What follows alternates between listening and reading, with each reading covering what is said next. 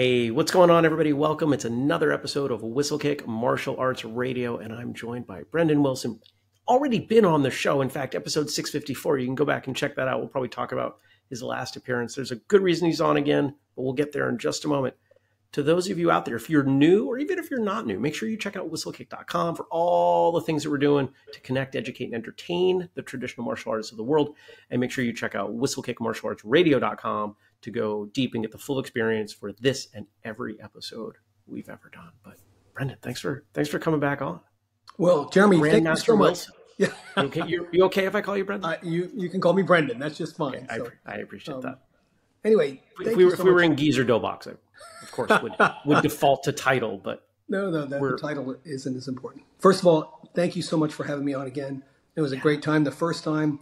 Um, it is an honor then, and it is an honor now um, to you. be back. I'm just so glad to be talking to you, and I'm looking forward yeah, to our conversation. We did. We, we, had a good time. Yeah, we had a good time, and you know, you had reached out and you said, you know, there, there's there's something I want to come on and I want to talk about. There's this there's this subject, and and I'm going to use a word I don't know if you used, and you and Andrew set this up more. I, I was I was involved tangentially.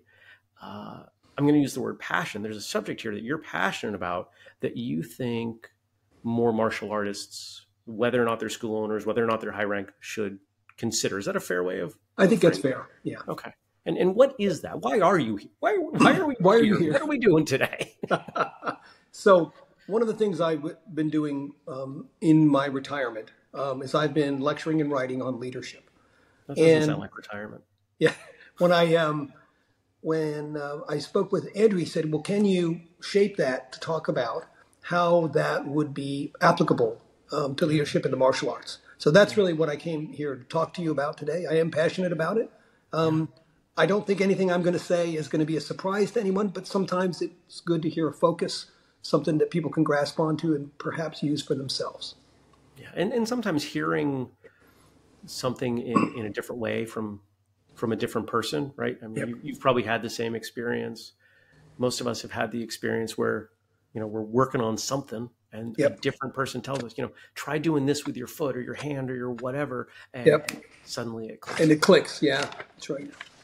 So, where where do we start? Where do we start in the idea of this this fairly broad topic, right? Because leadership, I think a lot of people think of it pretty narrow. It's it's whoever whoever's in, in charge of you right? Like for a lot of people that's what leadership is. Yep.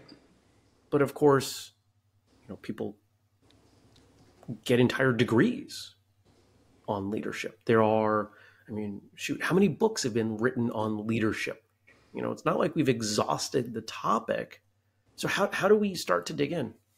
Okay well for me um, i was in the army um, as an army officer for 25 years and then i spent another 15 years as a diplomat working for NATO.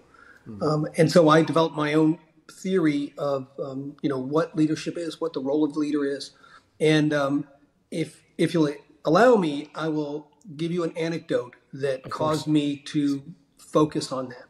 So when I was a major in the army, I got thrown into a position on very short notice, where we had six days um, to get ready to go out from Louisiana to the Mojave Desert in California and to go through a big month long exercise. We had to move hundreds of vehicles, mm. lots of people. I didn't know anybody um, from the unit. Um, I was only put in there because the person that was supposed to do it wasn't available, and I they just moved me into that unit early. Um, so we got we did that. We went out to the desert. It was really busy for me. You know, we were just doing one thing after the next after the next, and the unit did very well um, mostly because they had been trained well before I got there, because there was zero opportunity for me to actually say, do it this way. You know, we just had to work through the, the issues. And when I got back, the battalion command sergeant major approached me and he said, Some of the officers that work for you did very well. And he indicated that that was a reflection on my leadership. And I said, No. I said, I haven't instructed them or told them anything. A reflection is on them for how well they did. And he said uh, something I've never forgotten the role of the leader is to create an environment where people can do their best. That's what you did, right? That's the credit that you take as a leader because you, you had good people. Again? The role of the leader, the role of the leader is to create an environment where people can do their best. And he said, That's what you did. That is the credit that I'm giving you. And that is the only credit you will ever get as a leader. So he didn't say that last part. But um, so for me, the question then is how does one create an environment where people can do their best? Because the, especially the higher up you go, the less direction you can actually, you know, but we had to load hundreds of vehicles on rail. I, I wasn't there for that. Mm. You know, one, somebody else supervised that and somebody else supervised the person that did that or the people that did that. So how do you actually create that? And that was kind of what I wanted to talk to you about. And then if you're willing, we could talk about how that might apply to the martial arts in a martial arts environment. Yeah, right off the bat, just that, that you're you're in this anecdote, the piece I asked you to repeat gets really close to my vision of a, a really good martial arts instructor. Right? Because when, when we think about someone learning in the early days, there's a lot of hands-on, there's a lot of, you know, detail. You're keeping them from falling over. Yep. But at some point, and this happens in, in every school I've ever seen, whether it's intentional or organic, eventually at higher ranks, those students are in an environment where they are moving forward. It's less, okay, now that you're a fourth degree black belt, I'm going to teach you this, that, and the other. Usually somebody gets there and it's the, the environment that's been cultivated that helps them move forward. Yep. No, and you and I agree. Instructor oversees or supports or whatever word people might throw in. Sure. Yep. Um, so uh, a couple of years ago, I got asked to give a leadership thing for um, the district conference of the um, Rotary group that I'm in. Mm-hmm. Um, so I didn't really know where to start. It turned out that my neighbor two doors down at the time is Dr. Um, Keith Krasemann, and he is a retired philosophy professor. He has best-selling books on ethics, and he gets called in by corporations to give talks on ethics. So I said, he's just out in his yard, you know. So, hey, what do you think about this? And he said something really interesting. He's first thing he said is the same thing you'd heard a million times, but he meant it in a different way, and that is that the leader has to have a vision and has to communicate that vision. I said, oh yeah, you know, you have a vision statement. He said, no, no, no, that's not what I mean. He said the leader has to communicate how everyone is going to treat everyone else in the organization. He said that's the most important thing that the because the people won't work together well, and they have to in order for the unit to reach their potential. So he said, how do you do that, right? So one of the ways that you do that is you present yourself as a honest and honorable person, right? Because and that's the baseline for you creating that environment. Because people will ask a certain question. They'll say, "Is the boss honest?" Because if the boss isn't honest, right, they are not going to be sure about a number of things that they have to be sure about in order to reach their potential. So, for example, what happens if I screw up, right? We know from basically every leadership course in the world that a certain amount of failure is a necessary component for success. So you're going to screw up. Everyone's going to at some point. What happens when I screw up? Is that going to be taken into account as part of me moving forward? Or am I just going to, you know, lose my job and, and be humiliated in front of everyone else? Well, they're looking to the leader to see the cue as to how that's going to, to, um, to be. What happens if I'm successful? Hmm. If I'm successful, am I going to get the credit for this? or is somebody else going to take it? Or is somebody else going to push me to the side because they don't want me to have the spotlight? That all comes back with the, the boss being honest, I think. So to me, creating that environment, communicating that is the most important thing that the leader can do. And that's why in good organizations, they hold the leader responsible for the success or failure of the organization. Mm. Even if the leader, you know, you can't point to one thing and said the leader did this wrong, if the organization's failing, the boss has the responsibility because the boss could have created an environment where the organization would success be successful. Yeah, so there's a there's a word that, that I use. You're, you're not using it, but I, I, I would call it synonymous with environment. In this case, is culture. It's yeah. a word that a lot of people use, and and you know whether when I started my my school last year, restarted after a long hiatus the thing that my assistant instructor and I spent the most time talking about was the culture because we knew if we got that right, a lot of other things would happen without a lot of effort. They would just naturally move in the direction we wanted. Yep. How do we want our students to interact with each other? How do we want them to interact with us? How do we want them to think of themselves on their journey? You're talking about the inevitability of failure. Yeah, I mean, yep. learning martial arts as a martial artist, no matter where you are in your journey, you're going to screw stuff up, especially if you're really pushing in the way that. That's I, exactly I right. That's exactly right. But how do they how do they handle that? How do other people observe that?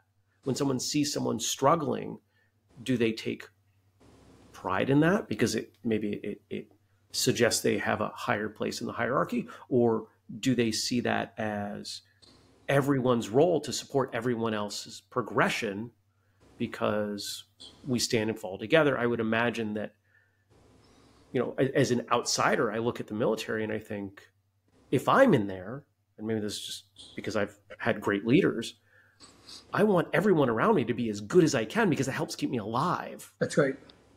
Yeah. But I've I've heard yeah. enough stories from enough friends who served to know that is not always the case. Yeah. Yeah. I think you got a you raised a good point there. So I guess the, the question for me, what I the way I broke it down was when you come up with ethical decisions, you basically have three categories. I realize these are somewhat artificial, but the easy category is the yes no decision, right? Mm-hmm. You've been asked to do something unethical and you just say no.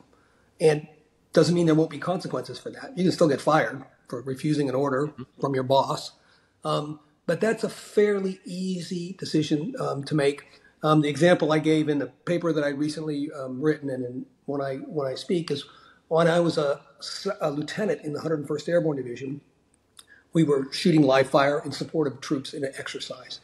Um, and my battery commander, so the person senior to me, but he wasn't experienced in this type of artillery, had said, "Oh, I need you to. We're going to shoot the guns right up next to the troops for some sort of um, realistic training. Um, you can do that, but there's some safety regulations that need to be followed." And he and uh, and he said, "And we're not going to have an observer. So that's the primary. Anybody's in artillery will get this. If you don't have an observer, you can't fire safely because if the round doesn't go where it's supposed to go, the observer is the one that tells everybody to stop." But if you're on the guns and there's no one to tell you to stop, and you shot in the wrong place, you just continue to shoot mm-hmm. um, according to the schedule. So I told him, um, we got to have an observer. And he said, no, we don't have time for an observer. Um, I want you to shoot it without. I said, I will not do it. We got to have an observer. And I even said, all, all, it takes is for somebody to go up to the hill, the, the, observation post, and call in the mission. My driver can do it. He can go up there right now. We can be ready in 20 minutes. He said, no, we don't have time. I want you to shoot it now. I said, I'm not going to. so mm-hmm. he said, I'm going to bypass you and have the fire direction center send the data down to the guns to shoot it. I said, no, you won't. I am in command of the guns, and you can relieve me and do as you please, but you cannot send that data down to the guns. I will put the guns in a, what's called check fire status, which they can't fire by law, um, and we we need to get this solved. So then his boss comes in, right? So I'm a lieutenant, right? He's a captain. Lieutenant colonel comes in, really, really frustrated, and he says, "Everybody's waiting on you guys." I got a general officer out there waiting to see this, right? What's the holdup? And he says, Lieutenant Wilson's refusing the order. So by that time, I got the, the book out, right? And the book is law. It really is. So, I mean, if, if you want to see this, if I shoot this mission and somebody gets injured or killed, I'm liable morally and I'm liable legally. I can go to jail for that. Mm. Um, anyway, so he, so before he could say something angry, a helicopter lands and his boss gets out which is the division artillery commander. And he comes over and he goes, Hey, you know, what's up, man? Everybody's waiting on this, right? And he says, Lieutenant Wilson's not, not willing to do it. So he says, Tell me about it. So he was calm and everything. So I showed him the book, I explained it to him, and he goes, and he turns to the battalion commander, whose name was Russell. And he says, Russ, send somebody up to the hill. Let's get this done. So we did it exactly the way I, I said we should do it. And the reason I raised that is because that's an easy decision. Hmm. I couldn't have obeyed that order, period. And I would never have been excused for obeying the order, right? Knowing that it was wrong, and then somebody got injured or killed. My responsibility is to is to protect the lives of the infantry that's that's out there. Easy decision. Yes, no. We can take most of those decisions without leaving the house, right? And that's what I would say is the very first level of ethical. It's not even a dilemma. Um, you just right. can't do the things that are wrong. Yeah. yeah. And, and I have to ask your your your commanding officer was there any consequence for him? Okay, so interestingly enough, my battery commander wrote on my efficiency report that I was not a yes man. He meant it as a sort of a sideways compliment, criticism. Uh, it's an unusual comment for um, maybe it wasn't 40 years ago, but it, it is fairly unusual. And the battalion commander wrote that I was the best lieutenant in the battalion. So he recognized the fact that I had probably saved them some trouble, mm-hmm. um, even though I had embarrassed him in front of his own boss. But you know, they should have they should have sent an observer up, and they shouldn't have asked me to do something that yeah. but I was wrong. To learn the lesson yeah. and to recognize the the reality. Yeah, and you know, to me, uh, you know, the two things in the military martial arts too: mission accomplishment and safety. Those are the two things that you make sure that you stick with. And if you're setting the example as a leader, everybody watches, mm-hmm. right? Do the soldiers know that Lieutenant Wilson isn't going to do something wrong? Yep, they know it because he just about got his, you know, tush kicked mm-hmm. um, by refusing to do something. And they, in the same way, should also, because you know, at the at the section level, every sergeant has safety responsibilities, um, and those are not delegable. You mm-hmm. got to do it. You know, you're the boss. You're the one that says no. We're not going to do it, even if it makes us late, even if it makes us look bad. All right. What's the second? Okay, so the second level is the one that's more common. That's the one that we all face, and that's where we have conflicting mm. levels of um, ethical responsibilities, where the decision that you have to take is going to push one or the other, and there's no clear um, decision that is obviously right. Mm. Every decision has negative consequences for you and for others. And the example that I like, my doc, my daughter is a doctor. When she was a resident, she was supposed to do like an overnight thing in oncology, which she was allowed to sleep. She just had to be there. But when she got to the hospital, they said, "Oh no, no, we're short a doctor. You have to be in charge of the emergency reaction team for the whole hospital." So she's doing it. She's a she's a doctor as a resident, as a second year resident. Yeah. Wow. Okay. And so she's got a five person team. They're going whenever you know somebody uh, crashes or, or whatever. And then one of her patients was starting to fade, and so she calls up to um, the um, um, sorry, my intensive care, sure. and says, "I need to put this patient in intensive care."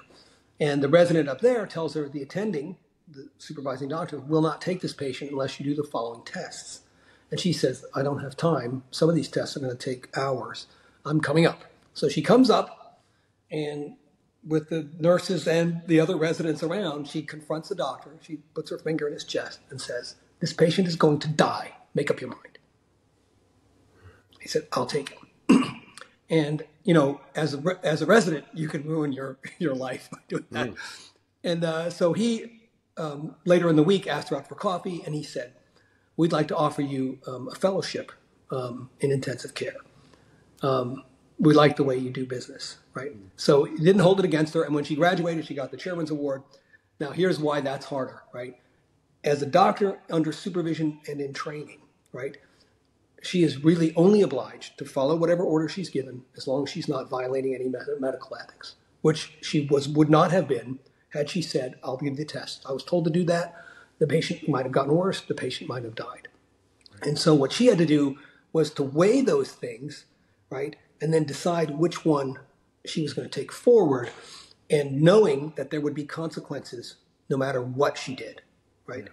so that's that's the harder decision and of course that's the one we all face i mean you can't raise a family you can't run a martial art yeah. business nothing without having to say i'm weighing these different things how am we going to go forward it's constant I mean, we're bombarded every day do i do a or b and there's no clear yep. decision or even worse a, B, C, D, Q, yep. and you can only pick two of them, right? And so that right. a, a, lot of people get paralyzed under that yep. decision process because and, there's no clear objective determinant.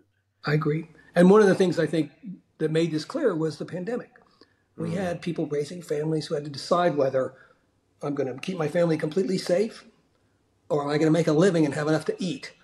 Am I going to send my child to school where they might be exposed and then I might be exposed? Or are we going to, you know, you, those are difficult decisions and there isn't a best answer. There is only the answer, the choice that you pick and the consequences that come from that. Um, we would never say, you did the wrong thing, mom. We would have to say, mom, you made the decision that you had to make as a mother um, to, to do that. So to me, I think that reflects that kind of thing. Because, of course, every parent, every mother you know, is a leader. Let's face it, in a very, very sure. important leadership role. Um, they've got the lives of their family that they have to um, uphold. And they're, and they're responsible for creating that environment for yep. for progress, for growth, for being raised, whatever whatever. Got it. Thrown there. So I promise at some point I'm going to get to um, how this affects the martial arts, but.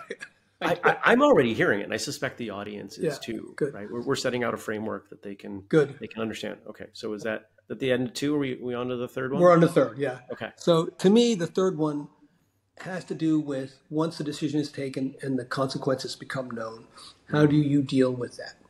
Um, so my, my the example that I like to give is Viktor Frankl, who who wrote uh, Man's Search for Meaning. He was uh, a physician. Um, he and his pregnant wife were incarcerated um, at the beginning of World War II um, in a concentration camp. He was separated from his wife. She was almost immediately murdered. He did not know that until the end of the war, five years later. Um, and he said an interesting thing. When he wrote Man's Search for Meaning, he said, The best of us didn't come back. He said, We had to do really, really hard things to survive. And everybody knew it. Nobody was pretending it was otherwise, right?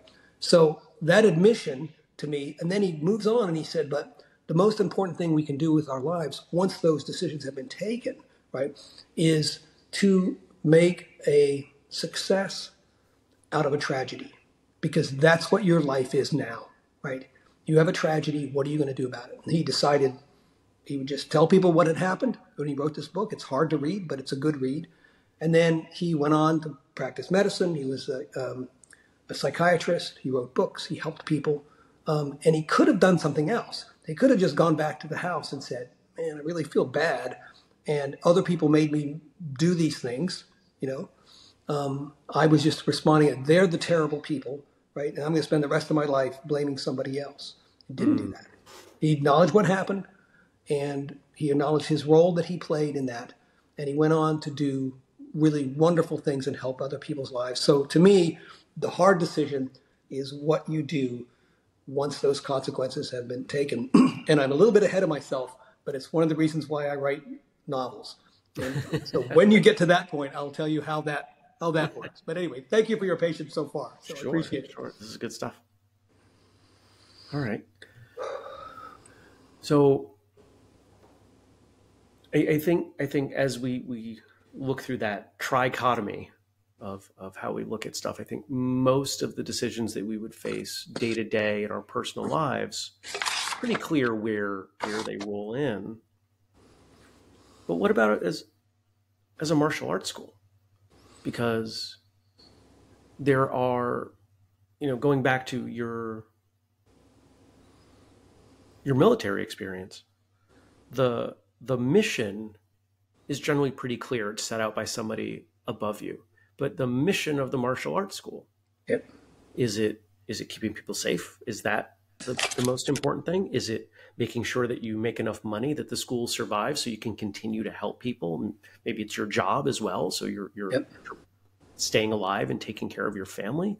Is it making sure that your students are able to defend themselves out on the street? Is it that they are advancing in rank? There, there are, I would see, a multitude of missions that most of the time move in the same direction, but sometimes there are certain circumstances pop up and they're in conflict.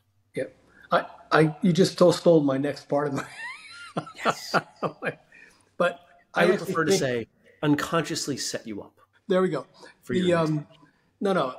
I think the burden for an independent martial arts uh, instructor who runs their own studio is in some ways higher mm. than it would be for a military officer. I mean, if you just look at what the responsibilities are, the as you said, if you are running your own school, there really isn't anybody over you to say, here's the book you have to follow. You might be part of an organization and you might have rules that you have to follow for, for business, but you're the one that's going to set the tone um, right. for everyone. And those things like what's the level of discipline that we're going to have in this this mm-hmm. class, right? Um, how are we going to handle promotions? Are they going to be fair? Um, are they going to be difficult so that when my student leaves here as a green belt, blue belt, whatever, that they can hold their head up when they go to another school or they go to a tournament or something? Um, and then you raise the issue of financial responsibility, right? You're a financial custodian. You have to deal with money that your students are going to give you, their parents are going to give you, and you have to handle that money um, in a way that's um, both responsible and you have to be seen to be doing that in a responsible way.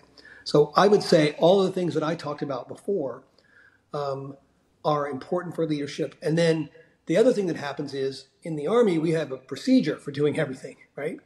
I, I knew exactly how to fire the guns because it's in a book and there's a right way, and that's it. There isn't any other way. There's just the right way. But there's not necessarily one way of how you build that environment.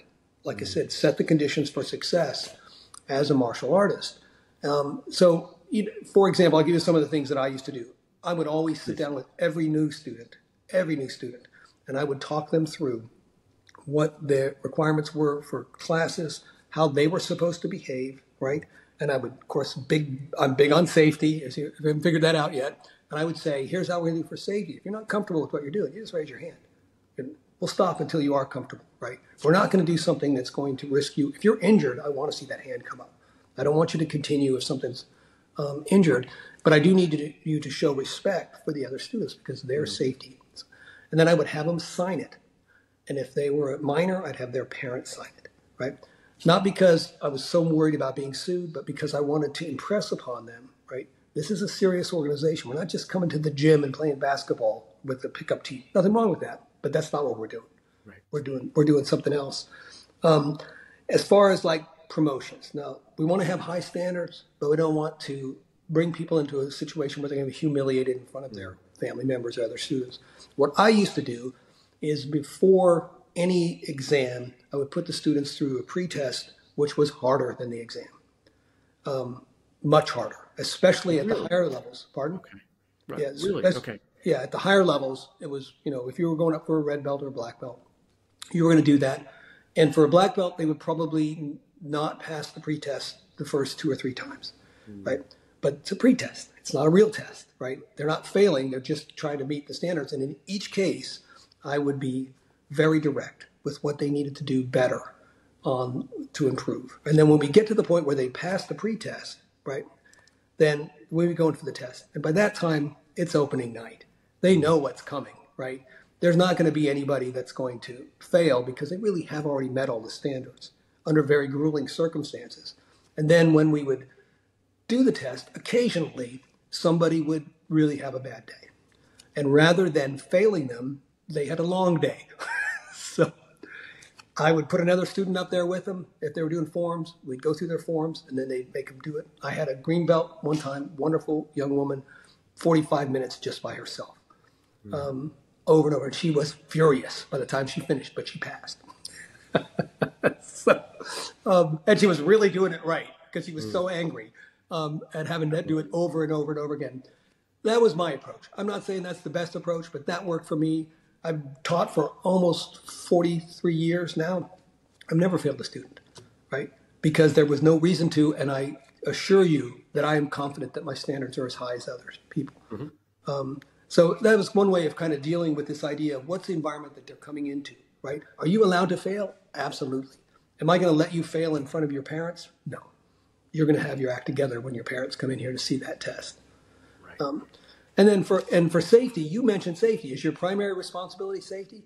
It is, but if you want to be perfectly safe, close the studio down, right? Um, and I haven't had that many injuries, but I had some. You know, I've had the, the, the occasional broken finger. I had somebody get an ACL tear once. Mm. Um, the occasional bloody nose. Um, so I'll just tell you a story. I used to teach Hungarian students when I was in Belgium. They were okay. part of military families, and one of my uh, uh, one of my students, he was about 12 and he got injured. He was rolling around on the floor, you know, hurt. So I called his mother to come get him and she came and she looked at him. She said, I don't see any bone. Get back in there. So that was her view. that is that is some old school attitude. Right yeah, they're they're the Hungarians are tough people. They really are. Um, anyway, so yeah, that's safety is always going to be a balancing test from what you would like to accomplish and how things should be how things should be done um, in a safe environment. The students need to be supervised. You know, if they're sparring, there needs to be somebody there mm. controlling that sparring. They shouldn't be off on in a place where you can't see them and have them sparring because you're asking for trouble. At least my view. I would agree. Yeah. Okay. How do we how do we balance those things? And how do how do we make sure that assistant leadership, right? Because because leadership in most martial arts schools, even if there aren't uh, paid positions, Yeah. most of us in the front of the room have people that we lean on. Yep. How do we make sure that they're holding to our priorities and helping create that environment where people can flourish? Yep. Um, it's a difficult situation. I most of my teaching came out of the um, uh, the World Taekwondo Federation style. Um, assistant instructor had to be a third degree black belt. Um, so by the time you get an assistant instructor that's a third degree black belt, you've got somebody that um, shares your views and is competent. Um, so I might have like um, a higher student show another student one step sparring or something, but I wouldn't let um, a red belt supervise two students um, sparring. Right? If we're going to do things that are a little bit more dangerous, you know, joint locks, takedowns, sparring, breaking boards, that's going to be supervised, in my view, by somebody that is fully qualified and shares my view of how that should be done, knowing that sometimes people get hurt. You know, I had a I had a young woman one time um, do a jump sidekick like you did with Chung Mu, uh, and she broke three boards. She was about 15 at the time, and the, for the one millionth time, almost always the boards just go flying. For some reason, the boards just collapsed on her foot, right? And when she came down on the other supporting leg, it tore her ACL. A freak accident, done it a thousand times. I've never seen that again before or since. And she was out for months, you know. Um, that's an unavoidable accident. It was correctly supervised. Sometimes things just go wrong. Um, so I wouldn't um, say that. But I do have, um, you know, I had started my own martial arts called Aristos, right, where we had taken hard style um, techniques from Tang Soo Do and Taekwondo and applied the principles of classical Greece. And to me, that provides some guidance for shaping where the students will go when you talk about it and to try to take that forward in that environment where they can grow. Okay. All right.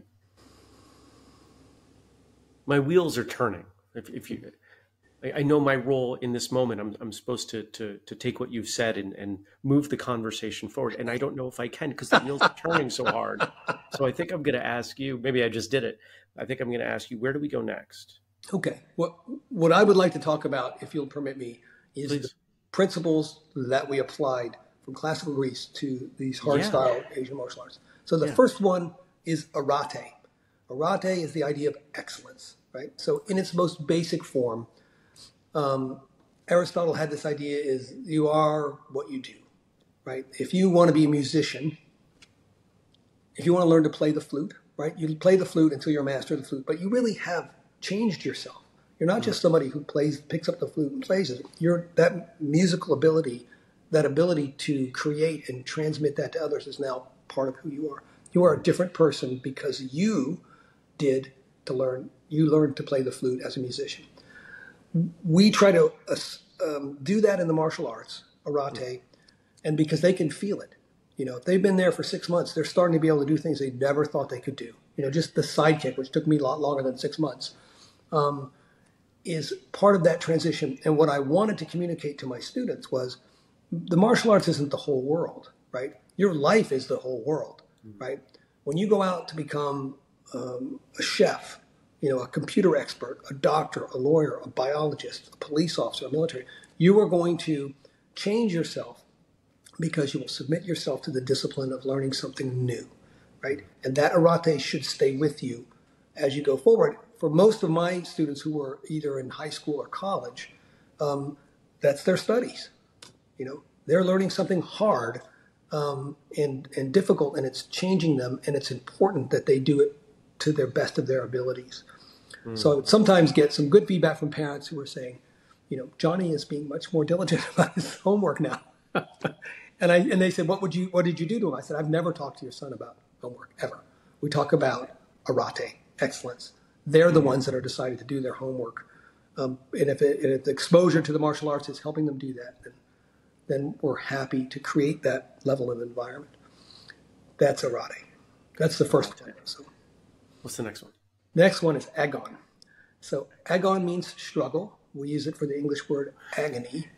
Um, and it was this idea, it was just this idea that there's a time to do the hard thing. You know, it's not necessarily sparring. It might just be you're a blue belt. And as you know, a hard style, blue belt is like the hardest level because up to then you're just learning things and you're getting all kinds of good feedback. And then you get to be a blue belt and all of a sudden the instructor is wants you to do things correctly. I was a blue belt for 18 months, going almost every day, um, and I needed it. And that was a hard, hard time for me. I think a lot of people quit when they're blue belts, right? Yeah. And we wanted to get to them. Is there's a time to continue. We would call it perseverance. Mm-hmm. You know, you're exhausted. You're getting lots of negative feedback. Other people are passing you by, but you, there's a time to do the hard thing, and that also applies to other aspects of your life, mm-hmm. Which it must. You know, no lawyer, no doctor, no accountant, no engineer has ever just sailed through, you know, get with lots of praise and success. They always have to sit down and say, okay, I'm not doing this. I need to do something different. What is it that I need to do better? Mm.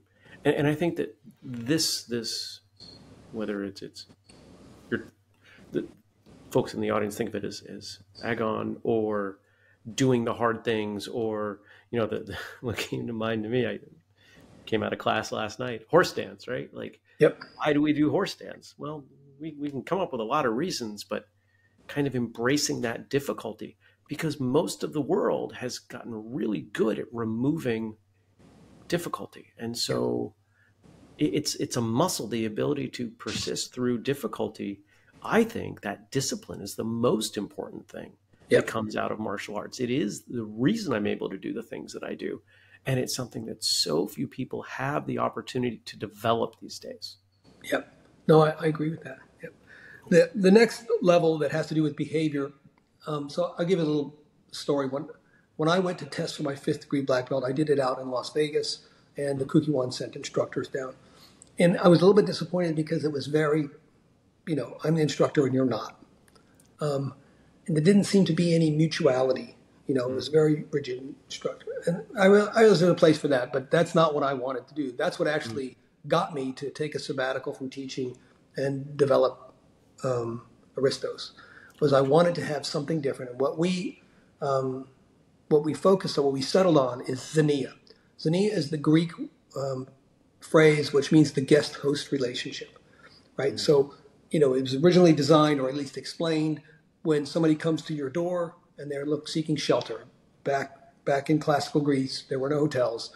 Um, you were supposed to treat them as if they were a god, and they would show you the respect that's due you as the owner of the house. So you have this mutually exchanged um, obligations for safety, um, for um, courtesy, uh, and the instructor is the instructor. You got to do what the instructor says when you come in a thing. But the student is also something, someone that should be respected always, even the very first student. They shouldn't be yelled at for doing something that is normal for them.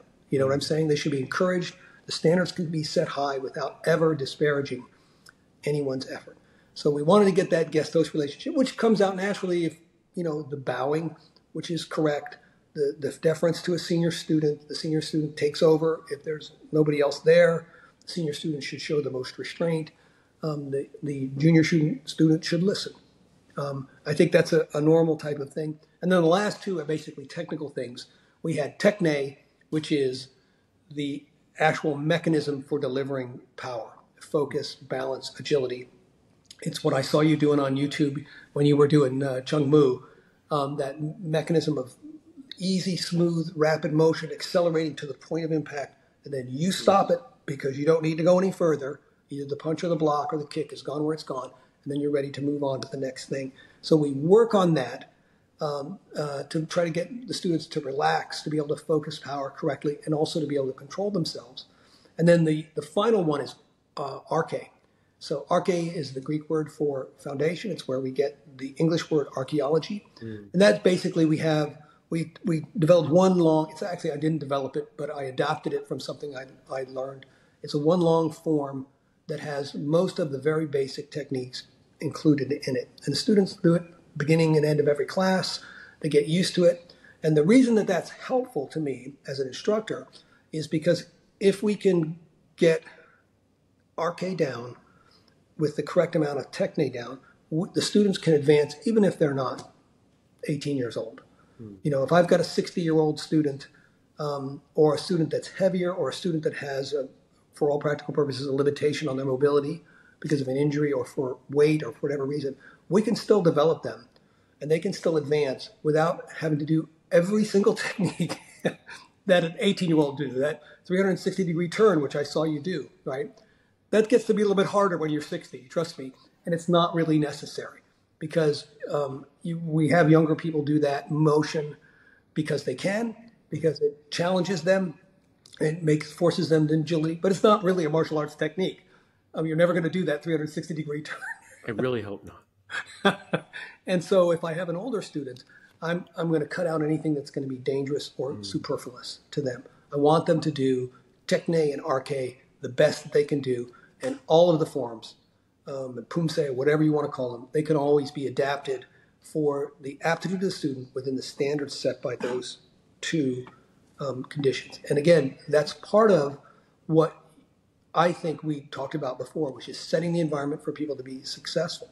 If you're 60 years old, you want to come work out, you don't want to be told, well, in order to get your red belt, you got to jump over, you know, three people and break three boards with a sidekick. That they're just going to quit. They're not going to come in, right? And it's not necessary for them to do that. They can still meet the standards without doing all of the fancy stuff. The young people, when they can do it, we're going to make them do it. yeah, yeah. I, I I see a difference between standards and challenging, right? You're, you're, you're kind of talking about breaking those two out, and I think that that's really important. You know, people have to know certain things, but then we get this opportunity to individualize a bit and make sure that everyone feels challenged with where they are. That's kind of the, the interesting things about it. You're right. Yeah, that's a, a good martial point. arts class, right? It's a it's a good point. it's an individual pursuit, but done in a group. Yeah, that's another layer of complexity for those of us. No, I, I like that. I really like that. And then the final thing in leadership that I would say in the martial arts is what's the role of the very prominent martial mm. artist, right? We're talking, you know, Cynthia Rothrock, Bill Superfoot Wallace. How do you present yourself so that thousands, tens of thousands of people are going to be impacted by your behavior, by by your deportment? Mm. Um, and I think that's really important. Uh, those are two of my heroes. So um, we talked a little bit about this before we went on. Um, we um, Cynthia Rothrock, of course, you know, superhero from the time I was, you know, struggling through um, be, learning a down block. Um, Hall of Famer back in the 80s, which is amazing. And she still makes movies. And she's a very modest and polite and um, just a good person. And we went out, I, I, met her out when I was out in um, uh, Atlantic City at this um, martial arts conference. And, you know, we went through, my wife and I went through her seminar is good. She's good people. You know, she's setting a good example for everyone else, mm-hmm. including women who would like to make their way in the martial arts. And then, you know, you're a member of, of Bill's um, Superfoot Wallace's organization, as am I, and he is amazing. And my wife and I kind of um, jumped on him. You know, he came off the stage. We wanted to talk to him, so we jumped on him. We said, "Hey, hey, hey!" You know, and Kay had gone through one of his seminars years before, and just a great guy. You know, a very helpful guy. And, you know, and as I told you before, they both wrote something nice about my new book. Um, so, but they were my heroes even if they hadn't done that. And so I think that's one step level. When you get to be a certain age, you set the tone for a wider audience of people to reaffirm the positive aspects of the martial arts so that people can take that and it would reinforce what they would like to get out of the martial arts. Mm. You wrote a new book. I did. Because you wrote another book. Yes, I did. So right around the time that you were on before, because I'm pretty sure yeah. it's on my bookshelf. Yeah, that's Battle, true. Battle and I know you've read it, so I don't that? have to worry about it. Okay, this is the first book, Achilles Battle Fleet. Achilles. Okay, hey, I got I got two of the words of the title out of my brain. I'm there really proud of myself. Ah. And it's it basically take it's 500 years from the date of the attack on Pearl Harbor. There's another attack, but it's a galaxy-wide attack. And Mei Ling Lee is a junior officer in a backwater assignment with a backwater boss. And because of all the casualties and the wartime environment, she has to step up and do things that she has been trained for, but are hard, hard to do. She has to exert her leadership, and she has a number of adventures. So it's an adventure book. But um, the second book takes it forward from there. this is Warrior Goddess, book two. Um, it takes Mei forward um, from that. Um, and again, you know, it's an adventurous thing. She fights monsters, pirates, non-human species, time travel, all the wonderful things you'd like to get in a in a uh, in a sci-fi book. But what I was after, my core after, is what happens when you make have to make difficult decisions. Um, in this case, she's making difficult wartime decisions. You know, and it's life or death. Somebody lie, dies and somebody lives. And how do I weigh the mission against mm. the safety of the personnel involved? And what point do I do something that I wouldn't otherwise do because the stakes are high? And that happens to her in the first book, and she is called to account for it. Um, and then the Navy wants her tried. They want to put her, and they want her to go to jail and maybe even to the death penalty for what she's done. And she's okay with that, right? Um, she'll fight that. But what she has to ask herself is, what kind of person am I really, right? Mm. Am I sorry for the things I've done? No, I'm not sorry. Does that make me a bad person? Let me think about that. Um, how am I going to go forward now that I've done something which I would never have dreamed I would have done but the circumstances were such that that's what I did. Kind of like Viktor Frankl in the in the prison camps. So that's kind of what I was after as far as from a literary perspective is I wanted to put people into very difficult decisions and see how they get out of them. And I don't know, I don't have a plot like that. You know, I, the, the vehicle is damaged, the missile is inbound, they're trying to get to jump status, they can't you tell me. I don't know how they're going to get out of it, but by the time I write it, they've gotten out of it somehow. Right. Or, or they haven't. You'll have to read the book. So. I have to read the book. Um, you're setting out these books to teach. I mean, I, I imagine to entertain, but also to to kind of educate, to get people to think. It's not simply fiction to you. That's kind of I'm reading between the lines here. Am I right? No, I think you're right. In fact, um, Bill Wallace uh, very kindly wrote, um, and we used it on the back of the book. He said, "You'll come for the adventure, and you'll leave with something to think about." Hmm. Um, so for me, you can be read at, at any level. You know, if you just want the adventure, that's fine. There's nothing in there that's going to, you know, keep you from doing that. Um, but part of it was what I wanted to do. You know what I'm saying? I'm getting this out too because you know, I have those things in my past where we had to make difficult decisions. Um, and um, how do I think about myself too? So you're sort of you're sort of, it's a little bit of a cathartic experience to write those things out. And I know you've written books too, and I'm sure you've done the same. You know, it, it it's such a um, it can be uh, an exhausting way to teach lessons to a lot of people, right? But how else do you do it? right? Writing a book is really, really hard work, but I know that, that your books have sold quite a few copies, and, and as much as we have quite a bit of reach here at the show, you've sold more books than people are going to watch this episode, and you can go in more in depth, and you can create uh, not quite real scenario. so it allows them to suspend some of what might bog them down as they work through the initial front of, of ethical dilemma. Yeah. And it, it's, I don't know, books, especially fiction, there's, there's a reason that the oldest forms of, of chronicling information or storytelling, right? That's yep. something hardwired for all hardwired. of us. Yep. And that's why I, I love when people take the format of fiction and they do something with it. They don't just I'm going to throw entertaining words on a page that there's there's a lesson in. No, that's right. And you know, one of the things I did um, is I modeled some of the characters on some of the characteristics of people that I had met hmm. that I admired, and a few people that I didn't admire, but I won't tell you who those are. But one of the one of the main characters is Admiral J. Chambers, right? He's her he's Mei Ling's boss. In the second novel, he disappears um, after a battle. Um, he's believed to have gone rogue He's believed to have started a criminal empire using his special operations um, skills and so forth. And she has to go undercover to try to find him and try to decide what he's doing, either arrest him or whatever, right? So that's kind of the thing in there. So Jay Chambers is actually the name of one of my high school, um, uh, actually before high school friends. He, oh, cool. he is since passed. He was a colonel in the army. We went to, um, when I was in high school, my parents died while I was still in high school. and his parents took me in. They're wonderful people. They have since passed. Um, he um, he passed in 2009, and I reached out to his widow and I said, "Can I use his name for this character?" She mm-hmm. said, "Yeah, we're happy to have you do that." But he, and of course, nobody can really do justice to a real hero, right? Jay was a real hero.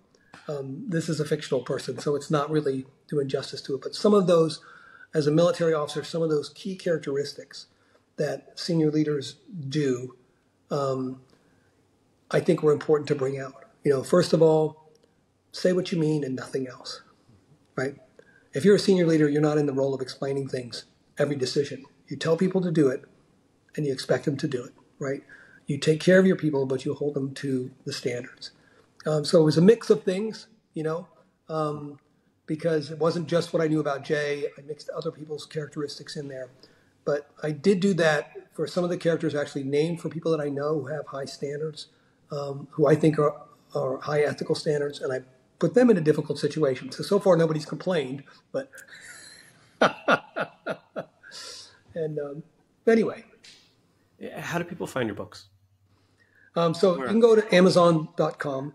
Um, both books are there. Um, uh, my name's Brendan Wilson. So you can find it under Brendan Wilson.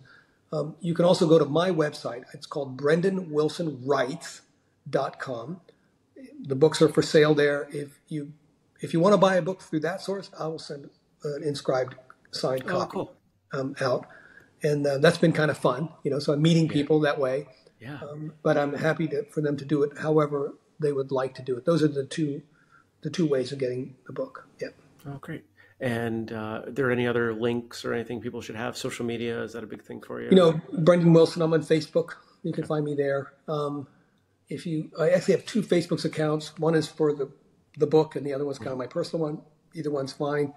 Um, both um, uh, Bill Wallace and Cynthia Rothrock created advertisements, you know, pushing the, the book, which I was very oh, happy. Nice. So if you want to see what they had to say about it, um, there you, you, can see that on Facebook or, or on my um, or on my website. Oh, that's great. That's great. And of course, audience, if you want to go deeper into Brendan's martial arts training, we talked about that in a typical interview episode back on episode 654. So you can find that anywhere that you would find any of our other content. In fact, wherever you found this, you can you can got it. That. Um, but yeah, th- thanks for being here and you can probably see it in my face in the audience if you're watching this rather than listening. You can see this in my face. There, there are there are wheels turning, and it's not every episode that makes the wheels turn for me. And I, I love that when it happens in episodes. So thanks for Good. thanks for breaking my brain a little bit. Good. Well, I'm working on the third book. Okay. Is this a trilogy, or are you going to keep? It's a trilogy. Yeah. Okay. It's a trilogy, but all trilogies can be extended. So let's see how the third book does. Right. But this in the second book, I'm I've left quite a cliffhanger at the end. Um, some people really liked it. Um, my brother, who is a scholar of English literature, said he was disturbed by it. So, so okay, I don't know if that, that's a compliment or not, but I think it is that to to create emotion, right? And I'm thinking about cliffhangers from from two part sitcoms when I was a kid, right? That was a big thing in that format. Okay. And I remember certain ones yelling at the TV well, you can't. Or, or you start you start watching towards the end. You know, there's seven minutes left in the show, and you're going, "There's no way they're wrapping all this up," and you start to get emotional. And I think that that's quite a compliment because it means you've created such a connection that people are upset that they have to wait to find out what's happening with these people who do not exist. That's right. They don't exist. Yeah, they don't. But we exist, and there there is some truth to all of that, isn't there? Um, it wouldn't be interesting if we don't if we didn't reach in and touch something that people find important in their own life. It can't be completely imaginary. It has to be what do I think about my integrity? What do I think about safety? What do I think about being successful? What do I think about my my um, enemies? You know, how how am I going to deal with them? Um, how am I going to deal with people that I don't like? Um, that's all in the book. Well, thanks for being here. Thanks for coming back, and we'll have to have you back for book three. It's a great honor to be here. I really enjoyed it, and I am very grateful, eternally grateful for you reaching out and giving me this opportunity. Thank you. Thanks for spending the time.